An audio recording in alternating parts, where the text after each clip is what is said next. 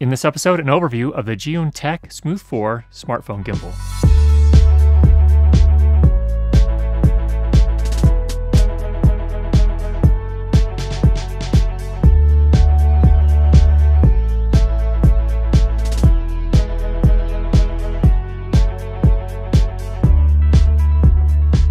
The Smooth 4 is Zhiyun Tech's latest addition to the smartphone gimbal world. We've also reviewed a couple of those in the past, the Smooth 2 and the Smooth Q. You can check those out up here if you're interested in those. However, I would say the Smooth 4 is superior to both of those and price wise, pretty close. So definitely I would look at the Smooth 4 as my first choice. What is a motorized gimbal? Of course, it is a stabilizer that stabilizes your phone so that when you're shooting video and photos, it makes things much smoother. But this is actually something that can do much more than that. It can also do time lapse and motion time lapse and other things along those lines. Setup's very simple. You put the phone in the harness so that the camera lens is exposed on this side, and then you extend the arm to balance the phone horizontally. As soon as it's balanced, you can then turn the gimbal on. Do not turn the gimbal on prior to that. It's also important to balance it because you'll get the best battery life when it is balanced properly. I did not need to calibrate the Smooth 4 out of the box, it just worked.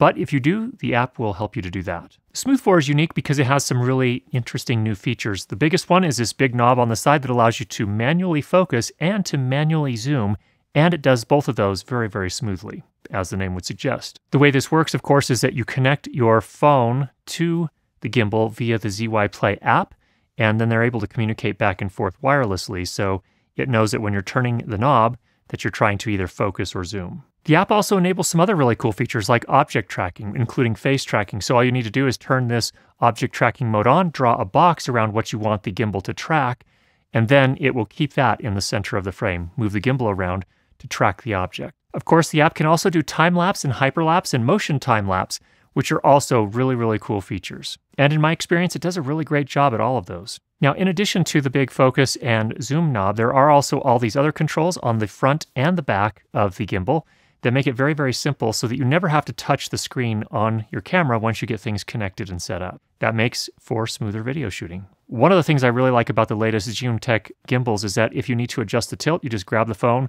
change the tilt, and it stays there, ready to go. In terms of overall build quality, this is made out of some sort of metal. I think it's aluminum, and then mostly plastic beyond that. So the arms are mostly metal, and then the body and handle are mostly plastic. It's a decent plastic. If you drop it, will it survive? I think it probably will. It's still metal where it counts. On the bottom, there's a quarter 20 tap that allows you to attach this to the included tripod, which is a plastic tripod. But again, this one is fairly good quality and it makes it very easy to set up your gimbal and do the balancing and things of that nature and set it down in between takes. So, really like that they included a tripod this time. Now, the gimbal is powered by an inbuilt battery that they say lasts 12 hours. I've used mine for about four hours so far, and I'm still on about three out of four dots on the battery indicator. So it seems to be tracking towards 12 hours pretty nicely. You can power the gimbal and charge it via its USB C port on the side of the handle here. And if your phone configuration is right, you can also actually power the phone at the same time that you're using the gimbal. iPhones won't work now because all of the lightning ports are on the spot where it's going to be right up against the gimbal arm.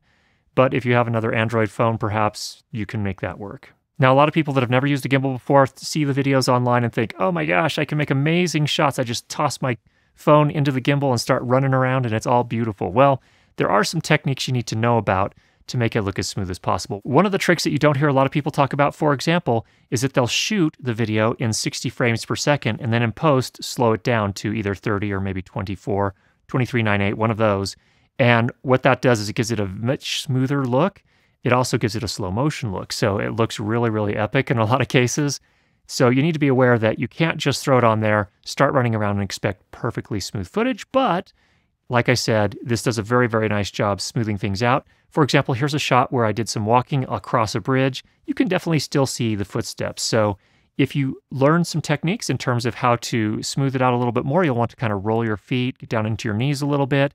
Also, kind of make your arm nice and limber so that it moves a little bit and it kind of compensates for some of the motion and especially the steps, then you can get very smooth footage. One thing I really like about the Smooth 4 is that it has a switch now for the two main modes that I use the most. Number one, pan following mode. So when you turn the handle, the gimbal will actually pan the camera to the right or left, but it won't tilt the camera when you move the handle forward or back. And this is the mode that I probably use the most when I'm just sort of maybe tracking a subject or walking the other mode I use the most is the lock mode, and this is generally going to be for crane shots. I love crane shots.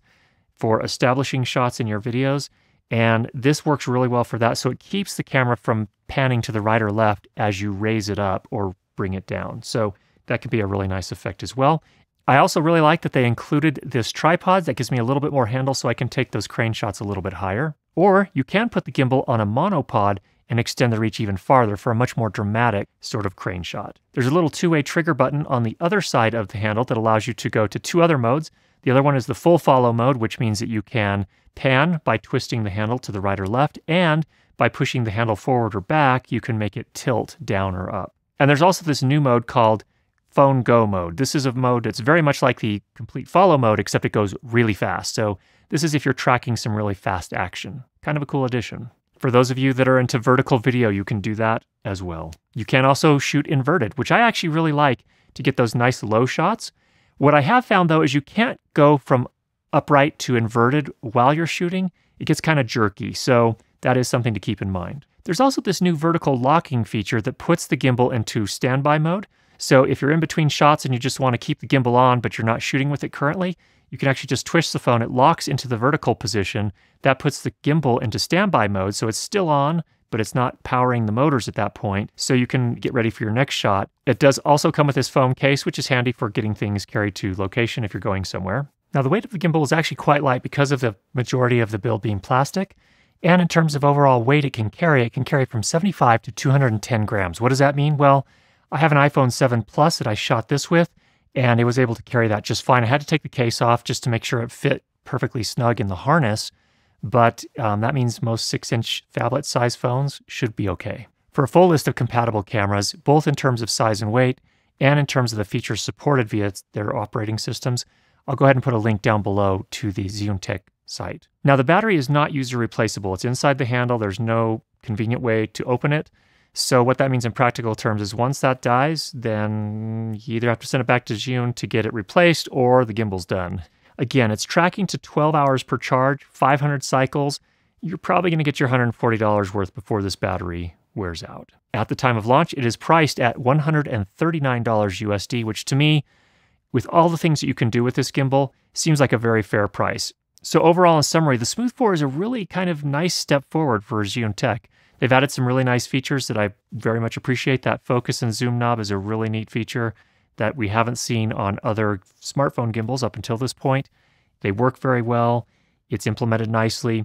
I also really, really like the manual mode and all of the controls on the gimbal itself so that you don't have to tap the phone while you're trying to shoot and kind of mess up all the smoothness.